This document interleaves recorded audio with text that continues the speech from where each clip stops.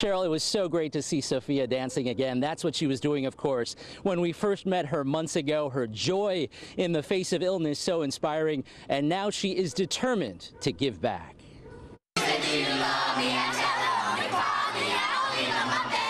Sofia Sanchez still has the moves.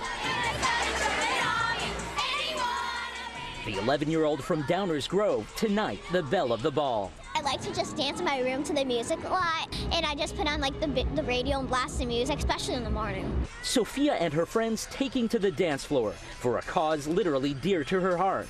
By now, you know her story, her Kiki challenge in the hospital last August, viewed by millions, including rap star Drake. Oh my God!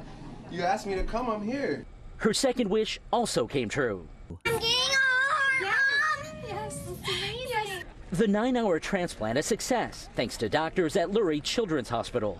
It's important to raise money, for, especially for hospitals, and also it's important to be organ donors because you want to save people's lives. Sofia's life has been transformed, but she hasn't forgotten others who need help. I've been uh, on the heart transplant list for seven months, and hopefully my heart will come soon. So from the Kiki Challenge Kiki,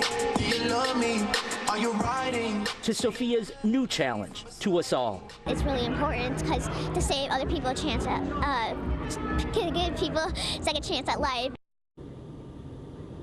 Bravo, Sofia. Six months after the transplant, she continues to get stronger. She told me she's playing softball, basketball, gymnastics, and oh yeah, mom signed her up for dance lessons. Of course.